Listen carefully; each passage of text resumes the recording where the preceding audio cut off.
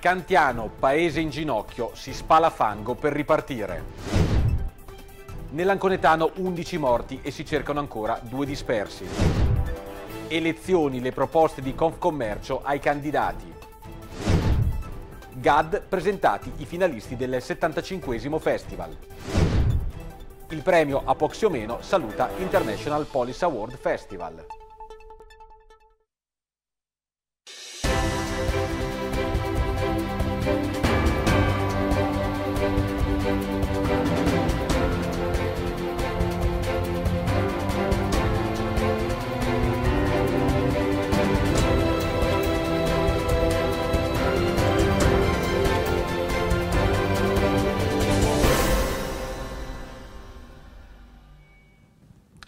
Buona serata a tutti voi amiche e amici di Rossini TV, ben ritrovati ad una nuova settimana in compagnia dell'informazione di Rossini News, settimana che comincia purtroppo come l'abbiamo conclusa con la stessa notizia, quella della catastrofe atmosferica che si è abbattuta nei giorni scorsi nel Senigalliese, nell'entroterra anconetano e nella nostra provincia di Pesaro Urbino che gravita attorno al Catria. Apriamo questo telegiornale di lunedì 19 settembre proprio andandovi a mostrare le immagini di oggi a Cantiano per vedere come si presenta il centro storico del paese a quattro giorni dall'alluvione che l'ha inondato di fango.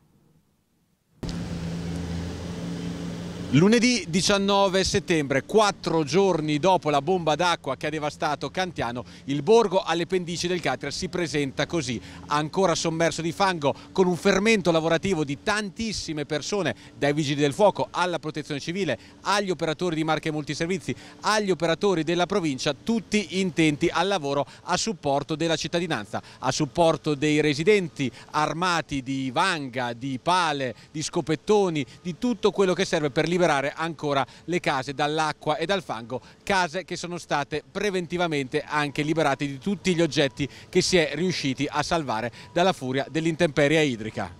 Il lavoro è tanto da fare, però purtroppo le mani non bastano perché servirebbero mezzi che portano via il fango perché se no non, non riusciamo a levarci il fango dalle case, dalle strade, da tutto. Non sai quello che devi fare se solo che scappi la mattina di casa con i stivali e dove trovi da fare incominci a levare quello, i mobili.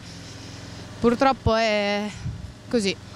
Qui è un bel macello, un bel disastro. Poi soprattutto da noi ha sfondato due solai buttando su le cisterne del gasolio, quindi con le esalazioni ci hanno detto i vigili che bisogna evacuare, andare da qualche altra parte per fortuna abbiamo una cara amica di mia mamma che ci può ospitare perché abbiamo anche un bambino piccolo e quindi è bella bella tragica sì. Ci sono due rumori che dominano l'effetto sonoro del borgo di Cantiano in queste ore. Uno è quello del fermento lavorativo di operatori, vigili del fuoco, ruspe e scavatori. L'altro è il rumore dell'acqua, il rumore dell'acqua persistente anche dove non dovrebbe esserci, come qui dove ci troviamo, dove si è aperta una voragine in pieno centro storico e di fatto scorre un fiume sotterraneo in pieno centro. Io sono di un paese vicino, sono di Pianello e chiaramente visto quello che è successo qui siamo venuti tutti ad aiutarli via. Speriamo di risolverla, vedo che la gente si sta dando molto da fare, ieri c'erano oltre alle protezioni civili e ai vigili del fuoco c'erano anche molti volontari e rispetto a due giorni fa quando è successo tutto questo casino già la situazione è un po' migliore, comunque ancora c'è molto da fare. Questa è Piazza Luceoli, la piazza centrale di Cantiano, uno dei primi luoghi in cui si ricominciano a vedere le piastrelle oltre la coltre di fango, uno dei primi ad essere ripuliti, ma proprio questo luogo è il famoso luogo del video diventato virale della piazza sommersa dall'acqua e dal fango con le macchine che galleggiavano piazza che si sta ripulendo, tutto intorno invece è un fermento lavorativo continuo con attività veramente in ginocchio, off limits per quello che è l'attività lavorativa, ma anche il patrimonio artistico-culturale delle chiese è stato gravemente danneggiato. Questa è la chiesa e parrocchia di, di San Nicolò che si è un po', un po' diciamo, salvata, ma la chiesa collegiata è stata praticamente rovinata in maniera, in maniera grave, l'acqua ha sfondato tutti i portoni ed è entrato dentro tutto il fango, tutti i detriti, rovinando anche delle, delle opere, insomma delle, eh, che erano lì fino a un metro e mezzo di altezza ovunque danni incalcolabili, che siano abitazioni, che sia patrimonio storico, culturale del borgo, ma soprattutto attività lavorative. Vi mostriamo ad esempio come è ridotto il ristorante La Cantina Sociale, la pizzeria della Rocca, il caffè centrale, la banca, tutto davvero devastato, completamente eh, sgomberato il mobilio interno, danni ingentissimi, attività che fanno davvero molta fatica a pensare di ripartire. Questo sì forse è il punto più colpito, l'acqua è arrivata fino all'altezza del soffitto come potete vedere e fortunatamente noi eravamo appena usciti perché già stava diventando la pioggia insistente quindi eh, eravamo usciti fuori per decidere sul da farsi, se andare via. E a quel punto abbiamo visto l'acqua sporca di fango che iniziava ad arrivare e, e da lì in pochi minuti è salita a livello di un metro, sopra il metro. Siamo al quarto giorno e c'è ancora tantissimo da fare.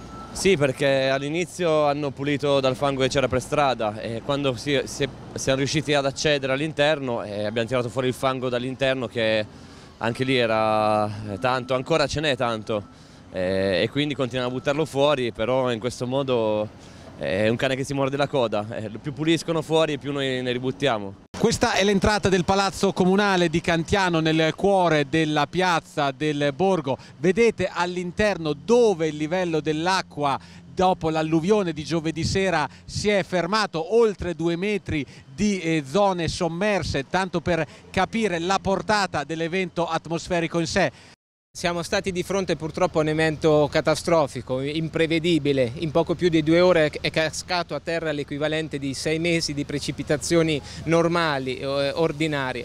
Quindi come vedete ecco, non c'è più il paese, abbiamo un centro storico completamente distrutto, non c'è più un'attività commerciale attiva, abbiamo una zona residenziale completamente distrutta. Oggi in questa fase siamo in una fase emergenziale, stiamo pensando alla salute dei cittadini, abbiamo liberato le frazioni, ridato viabilità, servizi pubblici, da oggi c'è corrente, c'è acqua, entro la giornata sarà ripristinata la rete del gas metano, però è chiaro che ci aspettano mesi e direi anche anni drammatici. Ecco, io l'appello è che le istituzioni in questo momento, stamattina c'è stata la visita del capo di dipartimento della protezione civile Curcio, e che non ci si abbandoni, ci si dia una mano, e, e, e chiediamo una boccata d'ossigeno immediata, un, un, ristoro immediato alle nostre attività, perché il fare attività, il fare impresa nelle aree interne è già condizione difficile ordinaria. Dopo una catastrofe del genere il rischio è che non ci sia la voglia di ripartire, che il paese muoia, che non rimanga più niente nel paese e quindi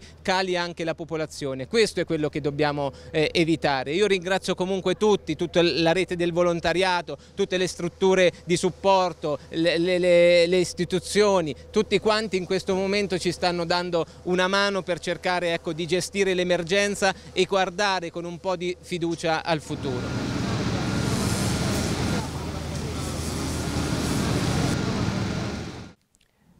E da Cantiano passiamo al territorio anconetano dove l'alluvione, oltre ad aver causato ingenti danni, ha provocato anche vittime.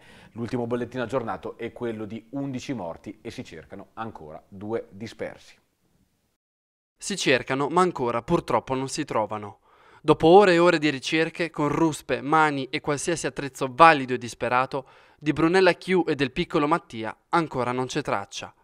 Sono passati quattro giorni da quel maledetto pomeriggio vissuto dalla provincia di Ancona e di Pesaro Urbino, in cui dal cielo sono precipitati circa 400 mm di acqua, pari a quanto solitamente ne piove in un terzo dell'anno. Al numero delle vittime, 10 fino a sabato quando è stato ripescato nel fiume Esino il cadavere di un ottantenne di Serra San Quirico, si è aggiunto quello di Michele Bonprezzi, 47enne di Arcevia, fratello dell'ex sindaco, la cui auto è stata trovata nel fiume Misa. Un bollettino che quotidianamente si aggiorna con il numero delle vittime arrivato a 11, con due ancora dispersi e sono proprio i dispersi che in questo momento hanno la priorità, con oltre 100 uomini del soccorso alpino e speleologico e 42 vigili del fuoco sopraggiunti anche da altre regioni, impegnati in queste ore interminabili nella ricerca di Brunella e Mattia. Della donna, 56enne di Barbara, sono stati rinvenuti i resti della sua BMW, travolta dal fiume ritrovata a Burello di Ostra, a 6 km da casa sua, da cui fuggiva con la figlia 17enne Noemi,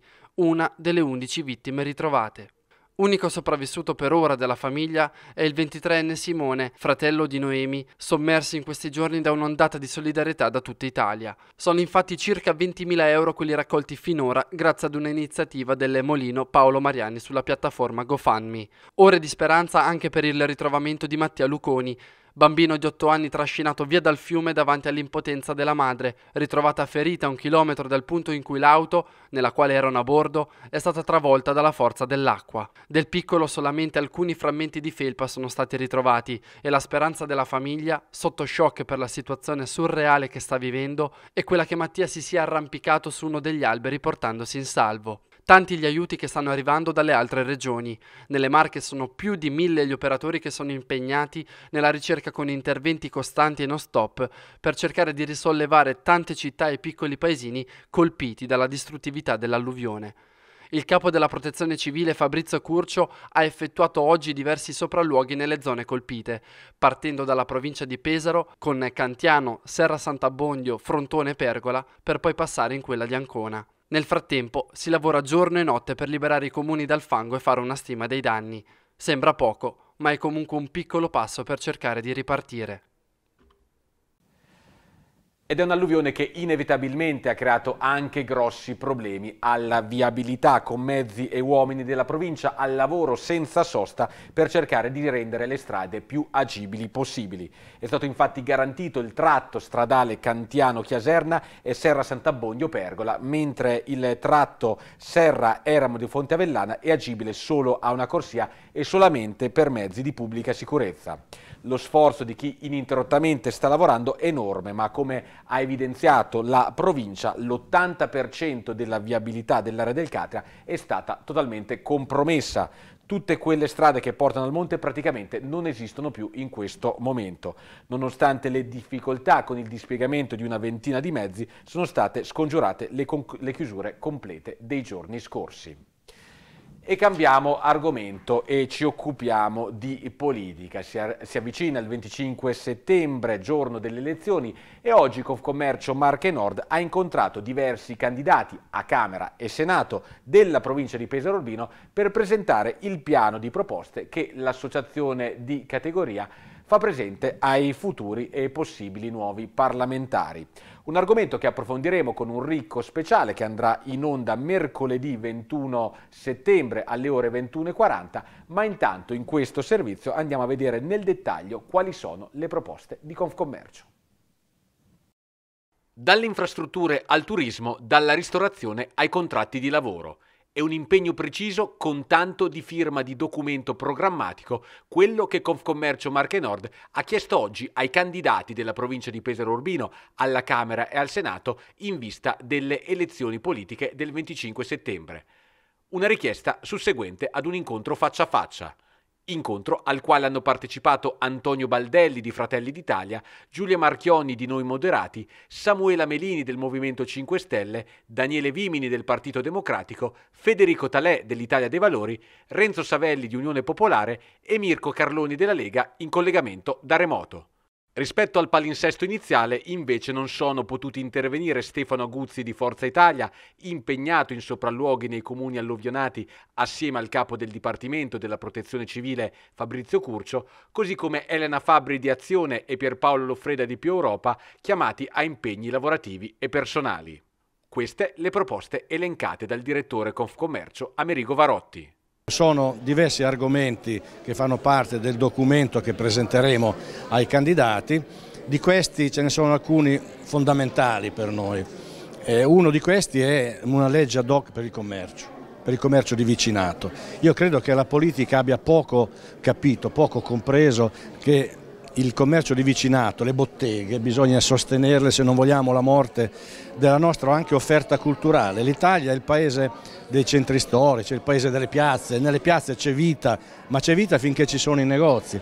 I negozi stanno sparendo per colpa di una politica miope che ha favorito la grande distribuzione commerciale desertificando in questo modo i centri storici e i piccoli paesi.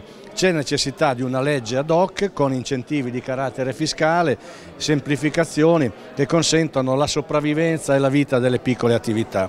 C'è poi un tema grosso come una casa, che è quello delle infrastrutture.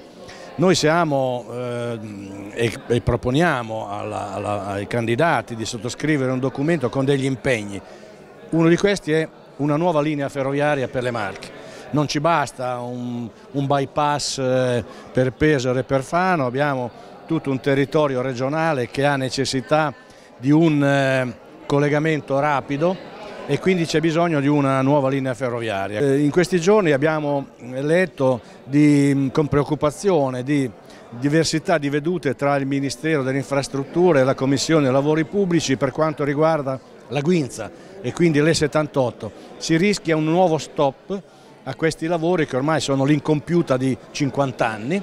Ecco, noi chiediamo invece ai politici, ai parlamentari un'accelerazione sul fronte della, della E78 perché è assolutamente necessaria per collegare le Marche con, con, Tirre, con Roma e con il Tirreno. Altro tema noi, che sta a noi molto a cuore è quello del turismo, da sempre Confcommercio è impegnata su questo versante e abbiamo almeno due temi che sottoponiamo nel documento. Uno è un, avere un Ministero del Turismo con portafoglio, perché è inutile avere un ministro se poi non ha soldi da spendere. Altro tema che parte poi da Pesaro è il riconoscimento della ristorazione come settore turistico, perché la cosa stranissima è che la ristorazione, che è uno degli elementi di attrazione più importanti per, nel mondo del turismo, non fa parte del turismo, fa parte del mondo del commercio. E poi abbiamo l'assurdo che l'agriturismo che fa parte del settore agricolo, quando ci sono finanziamenti in ballo diventa improvvisamente settore turistico finanziamenti che non sono consentiti invece per il mondo della ristorazione. Poi l'altro tema che abbiamo vissuto anche quest'estate con preoccupazione è quello del lavoro. Noi crediamo che vada rafforzato il ruolo della contrattazione, però con una particolarità che noi sosteniamo e richiediamo da anni. I contratti di lavoro sottoscritti dalle organizzazioni maggiormente rappresentative devono avere validità erga omnes, cioè devono valere per tutti.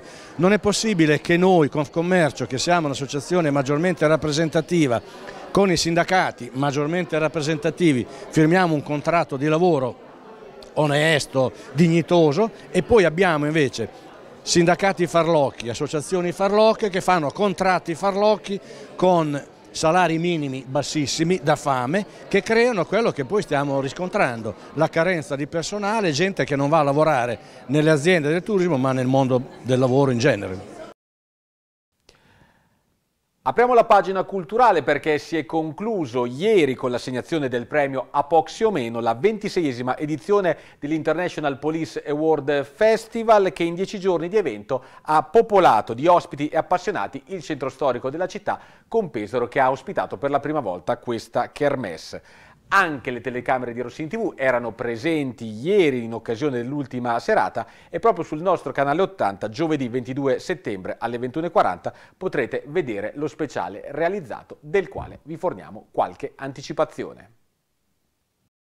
Dieci giornate ricche di ospiti e proiezioni che hanno riempito il cortile di Palazzo Mazzolari Mosca e la sala del Teatro Sperimentale di Pesaro. La ventiseiesima edizione dell'International Police Award Arts Festival, l'evento che celebra l'azione delle forze dell'ordine nel mondo del cinema, televisione, letteratura e musica, si è concluso ieri sera riscontrando una grande partecipazione di curiosi e di appassionati del mondo dello spettacolo e della divisa.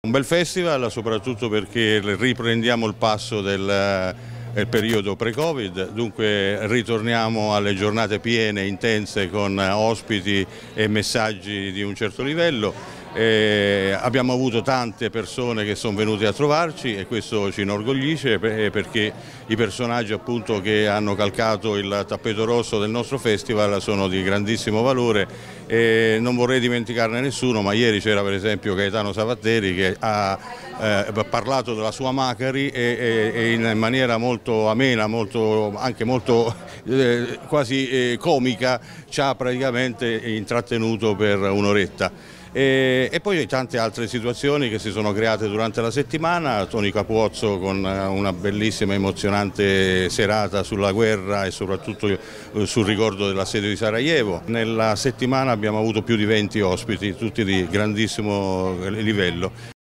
La serata conclusiva ha previsto la consegna del 26esimo premio a Poxio Meno, riconoscimento assegnato a sportivi e protagonisti della cultura italiana e internazionale che attraverso la loro attività professionale hanno valorizzato le forze dell'ordine.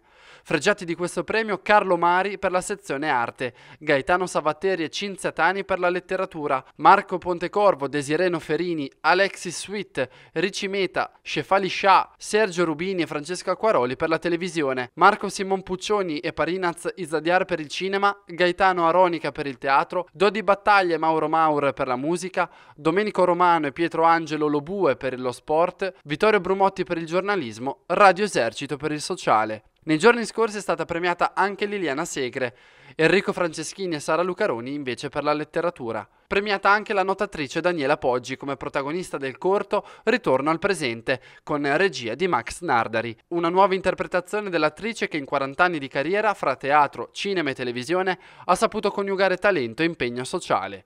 Il film analizza la dipendenza dai social network attraverso la storia di Palmira, un'attrice degli anni 90 che si sveglia dal coma nel 2020 e scopre una nuova realtà comunicativa. Non importa ciò che sei, ma ciò che mostri. Fai un post con il cane per perché è acchiappa like. Sono alcune delle frasi che la storia restituisce, frasi che ci danno la misura di un presente ormai inevitabile. Dunque giù il sipario per l'International Police Award Festival, su il sipario invece per il GAD che si appresta alla sua 75esima edizione che andrà in scena dal 17 al 31 di ottobre. A circa un mese dal debutto sono state svelate le otto compagnie teatrali finaliste che prenderanno parte a questa edizione 2022 del Festival Nazionale d'Arte Drammatica sul sipario per la 75esima edizione del Festival Nazionale d'Arte Drammatica, che avrà luogo al Teatro Sperimentale dal 17 al 31 ottobre. Sabato scorso, ad un mese dal debutto, sono stati annunciati gli otto finalisti del GAD che prenderanno parte alla Kermesse Pesarese. Ad essere state selezionate sono la compagnia teatrale La Betulla di Nave, con lo spettacolo Il Gioco delle Parti, la compagnia dell'Anello Aps di Forlì, con aspiranti assassini, GAD Città di Trento, che porteranno in scena Qualcuno volò sul nido del cuculo, l'Archibugio Peruggio compagnia teatrale con il Cyrano di Bergerac, la compagnia dell'Eclissi di Salerno con l'Acquario, Don Chisciotte e Sancio Panza della compagnia teatrale Calandra, l'Accademia dei Riuniti con lo spettacolo Tom, Dick, Harry e Dieci piccoli indiani della compagnia teatrale della Lanterna.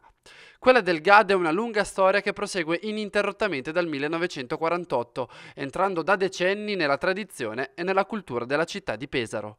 Il festival quest'anno riconosce delle eh, compagnie molto importanti, di grande qualità, eh, con degli attori eh, veramente eh, importanti e che sarà il punto di diamante, un fiore all'occhiello di tutto il festival. Noi cerchiamo di valorizzare il più possibile questa, questa evenienza che è il 75esimo, anche con degli eventi collaterali che l'accompagneranno, che, che li presenteremo nel, eh, nelle prossime settimane. Oggi però vogliamo vogliamo essere molto soddisfatti sia della qualità delle proposte che ci sono arrivate, sia delle proposte scelte per, per la partecipazione al festival perché eh, queste compagnie così qualificate porteranno ancora, del, ancora onore al Festival di Pesaro. Ed ora allo sport, cominciamo dal calcio e dalla Vispesero reduce dal quarto risultato utile consecutivo su quattro partite giocate. È terminata 1-1 la sfida tra il Pontedera e i biancorossi con gli uomini i Sassarini che in Toscana, dopo essere passati in vantaggio al trentesimo confedato, si sono fatti recuperare nel finale da Petrovic che ha ristabilito la parità. Pareggio anche per l'Alma Juventus Fano che sul campo del Tolentino non è andato oltre lo 0-0, ma è una partenza di stagione comunque positiva per il Granata con 5 punti ottenuti in 3 gare. E dal calcio passiamo al calcio a 5. In eh, questo sabato, in occasione del sedicesimo Memorial Nino Pizza, è andato infatti in scena il triangolare che ha visto affrontarsi l'Ital Service, il Futsal Pistoia e Kame Dosson. Quest'ultima squadra ha chiuso il torneo al primo posto, mentre secondo e terzo sono arrivati rispettivamente l'Ital Service e Pistoia. Il Memorial prevedeva tre partite da 20 minuti ciascuna, dove tutte e tre si sono concluse con i calci di rigore. Al termine dei match, Ital Service e i giocatori hanno consegnato a Lorenzo Pizza e alla sua famiglia una targhetta commemorativa del torneo, dove per l'occasione, tra una partita e l'altra, sono state presentate anche le prime squadre dell'Ital Service di calcio a 5 e della neonata Ital Service Loreto Basket, così come dei rispettivi loro settori giovanili. E con lo sport concludiamo questa nostra edizione del telegiornale Rossini News. Prima di salutarci vi ricordiamo però la nostra prima serata dedicata alla TV dei viaggi. In questo eh, lunedì andremo a scoprire le bellezze della Svizzera, appuntamento alle 21.20. L'informazione su Rossini TV poi torna puntuale domattina alle 7.20, sempre in diretta con Buongiorno Rossini, la nostra rassegna stampa che in questa occasione del martedì verrà condotta dalla nostra direttrice Emanuela Rossi.